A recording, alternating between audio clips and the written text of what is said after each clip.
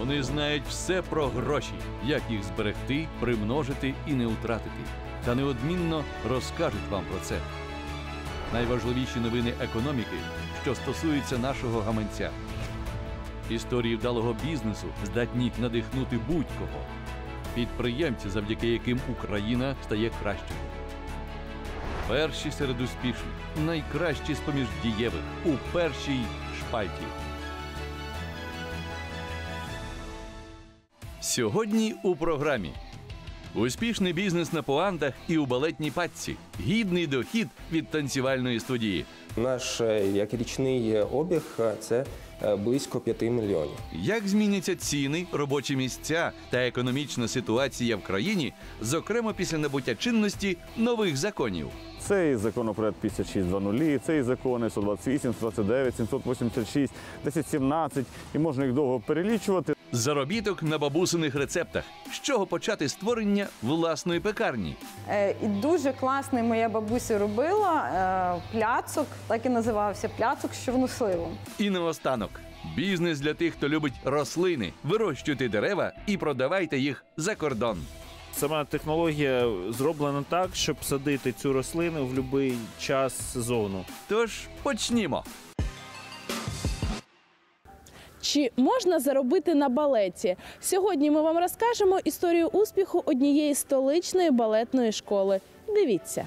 Знайомтеся, це Марія Шкарапута. У 20 років вона придумала і реалізувала успішний бізнес. Дівчина має хореографічну освіту, тож раніше підробляла тим, що навчала балету дітей. Та одного разу до неї прийшли дорослі, які теж хотіли долучитися до танцювального мистецтва.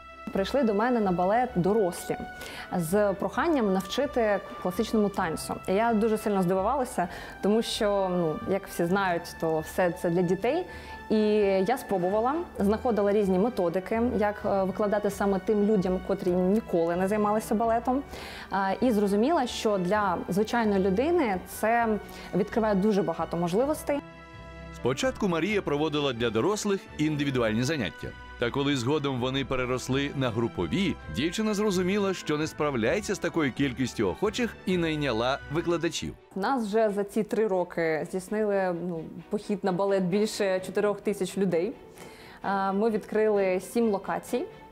І, звичайно, таким великим поштовхом і кроком було відкриття власної локації, адже ми орендували локації в інших студіях балету і мріяли про свою власну студію. Наприкінці минулого року Марія зі своїм хлопцем Дмитром втілила цю мрію і нарешті відкрила власну студію.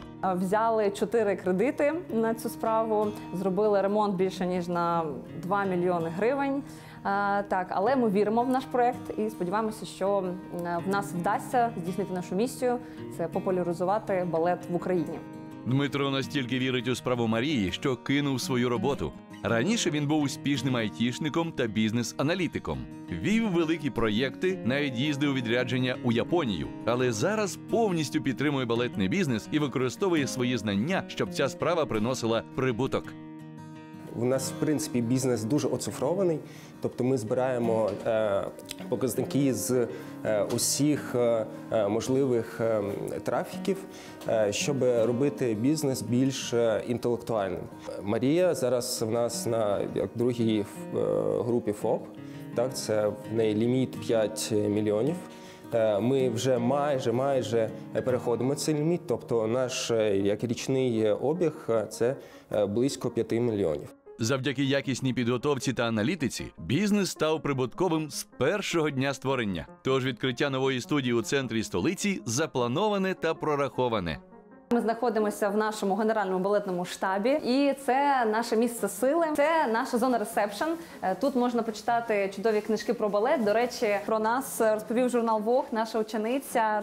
Тут немає нічого зайвого та неважливого. Кожна деталь відіграє особливу роль, навіть у гардеробі. Якщо казати про балетну легенду, е, то це залишила дуже всесвітньо відома балерина, е, і потім її ніхто не бачив. Але якщо казати про бізнес, е, то взагалі ми ці пачки здаємо в оренду. Середній вік учениць 25-40 років, але наймолодшій 15, а найстаршій 65 років. Марія намагається надати цим заняттям сенс, щоб дорослі люди були мотивовані знайти час на балет у своєму щільному графіку. Саме тому поза заняттями учні школи разом відвідують театри, проводять фотосесії та подорожують. Взагалі процентів 65-70 це люди, котрі ніколи не займалися. Тобто, ну по рекламі приходять більше люди, які не займалися. А якщо казати про скільки людей залишається, то е, приблизно кожен е, другий, кожен третій залишається точно з нами. Хоча навантаження тут не менше, ніж у фітнесі чи спортзалі, та користі більше. Це і розтяжка, і постава, і здоров'я суглобів. Дорослі це розуміють, тому і працювати з ними легше, упевнені тренери балетної студії. Дорослі краще мене розуміють. Е, Дорослі більше хочуть займатися, тому що дітей приводять батьки. Ось, а дорослі самі сюди приходять по своєму бажанню. е, В них е, просто палають очі, і мене це дуже надихає, і це дійсно дуже подобається мені. А учениці задоволені тим, що можуть втілити свої дитячі мрії. Такі студії це класна історія про те, що кожна дівчинка, яка мріяла стати балериною, тут вона може себе проявити. Минулий рік запам'ятався поступовим відновленням економіки, зростанням цін та будівництвом доріг. Але які подарунки готує нам цей рік? Зараз ми вам розповімо. Зимові свята це час мрій і сподівань. Тож які бажання загадали пересічні українці цього року? Я ж е, чекаю від е, нового року, щоб у людей покращилось е, благосостояння. Щоб не працювати, а на пенсії піти. Тому що я вже мені 63 роки, я, я пенсіонер, а приходиться йти працювати, бо не вистачає грошей. Чого чекаю? Мабуть, нових подорожей. Я займаюся туризмом, тому я люблю под- подорожувати з дітьми, з онуками. От. Стабільності якоїсь. І щоб був мир. Це головне. Чи справдяться надії українців, можна сказати уже зараз, проаналізувавши ухвалені закони та розвиток економіки. Почнемо з хороших новин. Робота у новому році буде. За час е, локдауну і е, пандемійних відсторонень е, деяких співробітників люди почали більше цінувати власний комфорт. Тобто ми перейшли у домашні офіси, у гібридний формат роботи, і люди почали е, шукати робочі місця, які більше відповідають їх потребам і їх інтересам і їх комфорту. І тому відбулася ось така міграція. Люди почали звільнятися в пошуках кращих умов роботи, е, роботодавці відкривати нові робочі місця. І е, протягом року ну, збільшення відкритих робочих місць відбулося значне. Щоб мати оптимальну кількість працівників, роботодавцям довелося не тільки відкривати вакансії, але й підвищувати заробітну плату. А минулого року ми бачили суттєве зростання е, ВВП з 150, е, 156 до м, там, 190 плюс е, мільярдів доларів. Однак е, левова частка цього приросту вона якраз прийшлася на заробітні плати. Так, середня заробітня плата в грудні е, там зросла сезонно скоригована до 570 доларів. А да, новий рекорд власне для України. Такі витрати призвели до зниження рентабельності бізнесу. Однак у новому році прогнозується зростання курсу долара, що, звісно, негативно позначиться на більшості українців, але дасть можливість відновитися промисловості. Якщо ми закінчували е, рік на там 27-30, 27-50, то цього року там середньорічний курс зросте хоча б до 28, 28,1. Я вважаю, що це навпаки позитивно. Це дозволяє там виробникам вирівнювати рентабельність. От додаткових проблем підприємцям слід чекати від законів щодо оподаткування, які не були чинності цього року. Це і законопроект 5620, це і закони 128, 129, 786, 1017, і можна їх довго перелічувати. На жаль, що для підприємців, що для українців, нічого гарного від нових податкових новацій не слід чекати в наступному році.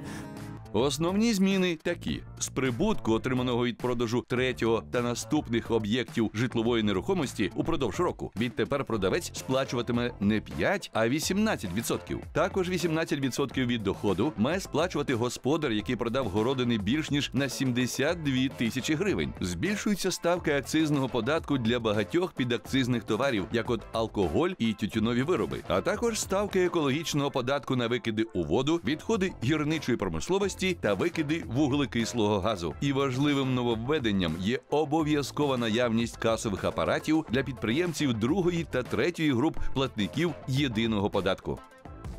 Будь-які додаткові витрати, які несе підприємець, чи то в частині адміністрування, чи то в частині звітності, якщо ми говоримо про фіскальний касовий апарат, це додатковий гаджет, та воно ще несе матеріальні ресурси на обслуговування, еквайринг і так далі, тому подібне. І всі ці витрати, ну, наприклад, по розрахунку Державної регуляторної служби, державного органу, який порахував відповідно до методики аналізу регуляторного впливу, будуть коштувати підприємцю 100 тисяч гривень в рік. Тобто на 100 тисяч гривень товари, які продає, чи послуги, які продає підприємець, стануть дорожчі. Якщо підприємець продає за рік товарів на 500 тисяч гривень з урахуванням нових витрат, це коштуватиме 600 тисяч, тобто подорожчає на 20%.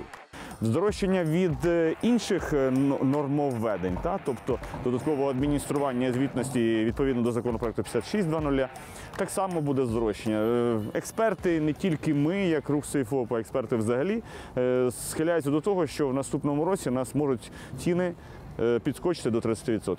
Тож у які сфери варто вкладатися цього року, а які будуть у зоні ризику? Що з основних ризиків на поточний рік? Це звичайно сільське господарство. Минулий рік був надзвичайно успішним, валовий врожай був більше 100 мільйонів тонн. А цього року е, через високі ціни на добрива ми очікуємо, що врожай знизиться до 92 мільйонів тонн. Певна корекція буде відбуватися е, в металургів.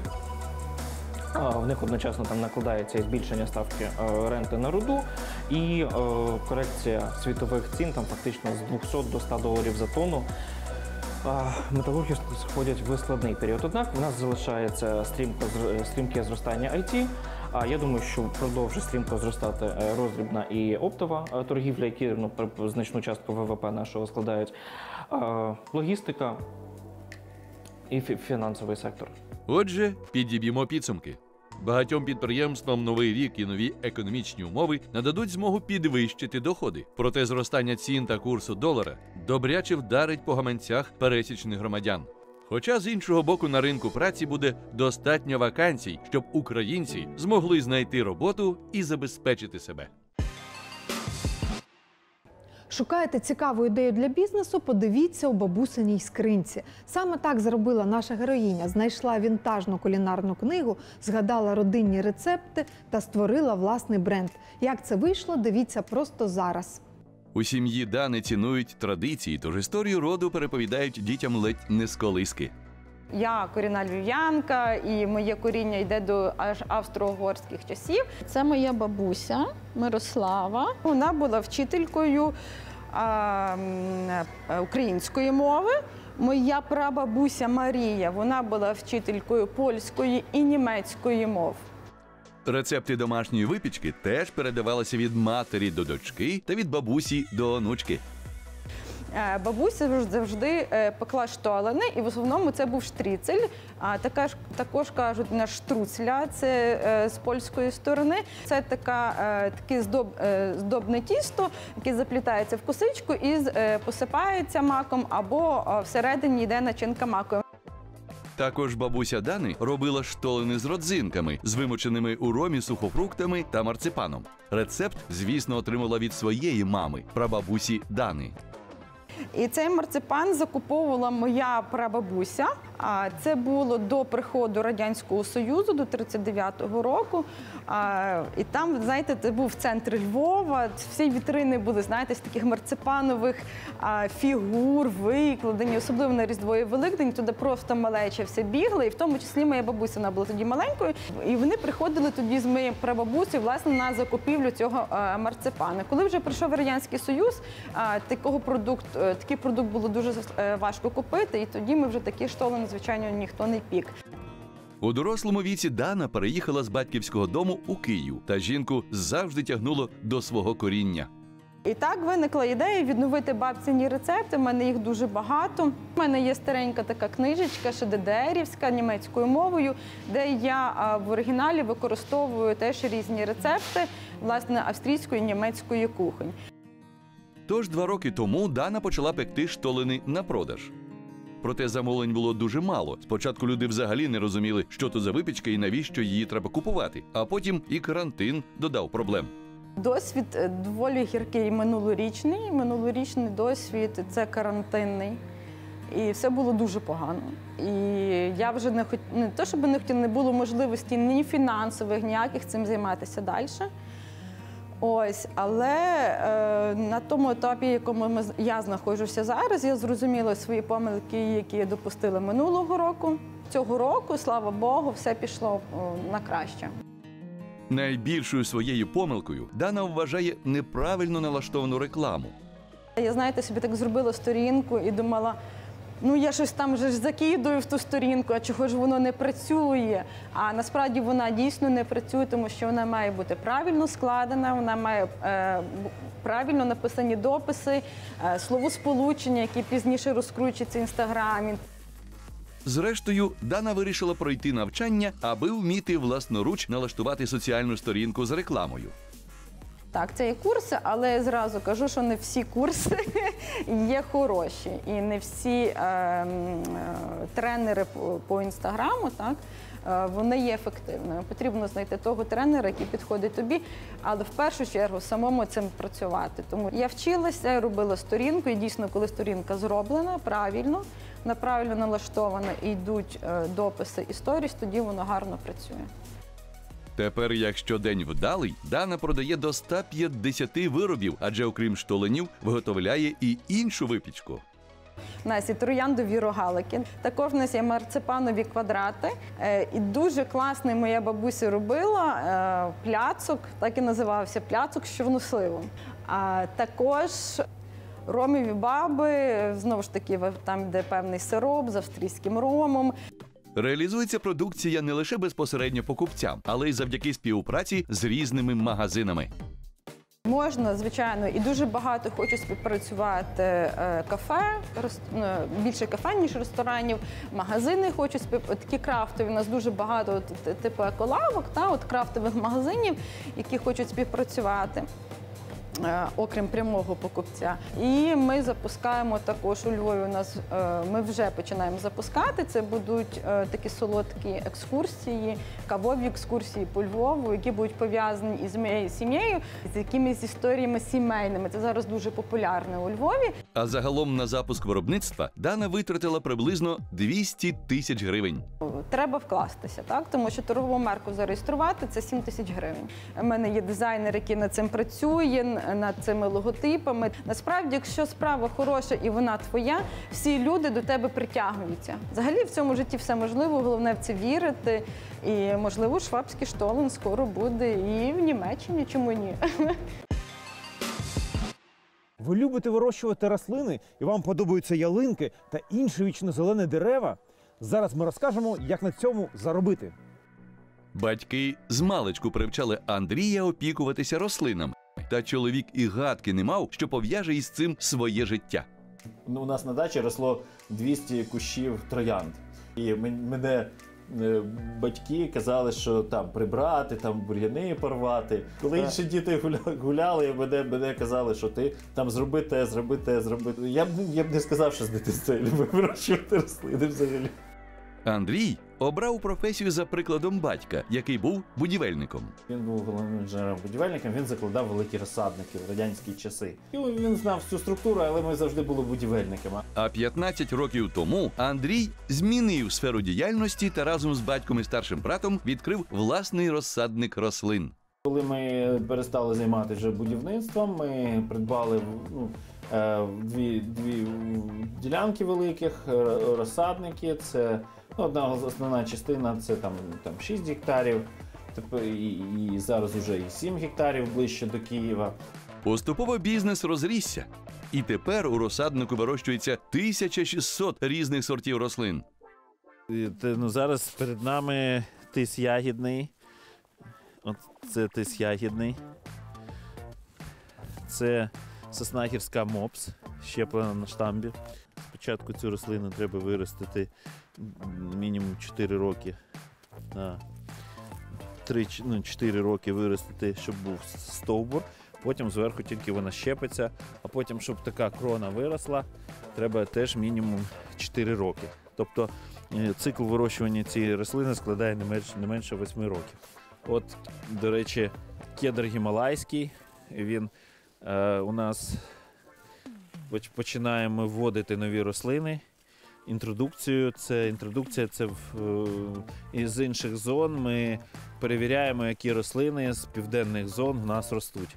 От кедр гімалайський, в принципі, проходить у нас цю процедуру, і в принципі все з ним нормально. Це є сосна, наприклад. Це Бенджамін, наприклад, зелена, компактна, е, карликова сосна, яка ніколи не буде великою. Рости вона на штамбах. Рослина, якщо щеплена зверху, штамп уже рости не буде. Також це кулі різні, різноманітні. Ми їх стрижемо регулярно. От, щоб такий шар зробити, треба мінімум 10-12 років. Продаж триває цілий рік, та залежно від сезону попитом користуються різні рослини. Наприклад, троянди і магнолії зараз закутані у тканину. Вони до весни спатимуть у теплиці. Тут у нас все накрито. Троянда не може просто бути на вулиці, накрита просто агротканиною. Тому у нас такі південні рослини, як магнолії, троянди, вони зимують у нас таким от чином. Їх дуже багато сортів, в районі 60 сортів. Взимку, звісно, зростає попит на ялинки. Вони тут є різних розмірів. Їх продають у горщиках, наповнених землею і добривами, щоб після свят покупці змогли самостійно висадити деревця у ґрунт. Сама технологія зроблена так, щоб садити цю рослину в будь-який час сезону, будь-то навіть самі спекотні дні літа або в, в- взимку. Розкажіть, будь ласка, стосовно моєї історії. Тобто, у мене була така проблема. Я а, придбав таку ялинку. Вона постояла деякий час у квартирі, потім я її виніс на а, балкон загальний, але ж там вона пропала. Чому так могло статися? Скажіть, будь ласка, скільки вона стояла у вас в приміщенні в В квартирі? приміщенні вона була до березня. В березні я її витащив на такий е, загальний балкон. М, Ми радимо людям тримати не більше тижня вдома. Це все ж таки північна рослина. Вона, лю- лю- вона любить холод. Взимку їй потрібен холод, влітку тепло. Е, якщо ми змінюємо їй е, ці умови, то ми повинні забезпечити тоді її необхідним освітленням. Є ще нюанс вологість повітря в приміщенні. Наші опалювальні системи, коли взимку у нас в приміщенні, ми кожен може вдома перевірити. Це в районі 20-30% вологості. Нормальне існування для людини і для ялини це 60% вологість. Якщо у вас немає умов освітлення і немає зволожувача, наприклад, в приміщенні, то треба через тиждень вже її винести на вулицю, щоб вона не зрозуміла навіть, що відбулося. Зараз рослинний бізнес Андрія процвітає, проте дається це нелегко. архітектори чи дозволи на землю, дозволи на проведення електрики, дозволи на проєктування на, на якійсь території, яка, наприклад, в межах села знаходиться. Це просто кошмар. Тим не менш, навіть за таких умов побудувати успішний бізнес з вирощування рослин можна. Хоча для цього потрібні великі грошові вливання. Ну, наприклад, ну, щоб за- закласти розсадник, наприклад, на один гектар треба приблизно на 90 тисяч доларів рослин. Потрібні е, теплиці для виробництва, так? Далі потріб- потрібні трактори, так? Далі потрібні господарські приміщення, далі потрібна охорона. Також е, величезна сума коштів виходить на, на, на, те, ну, на вирощування самого садивного матеріалу, інколи на його закупівлю, якщо в тебе цих сортів, наприклад, немає. Це вимірюється ну, ну, сотнями тисяч доларів. Та найголовнішим Андрій вважає наявність знань з дендрології, рослинництва та агрономії. Якщо усе робити за правилами, ця справа обов'язково стане прибутковою.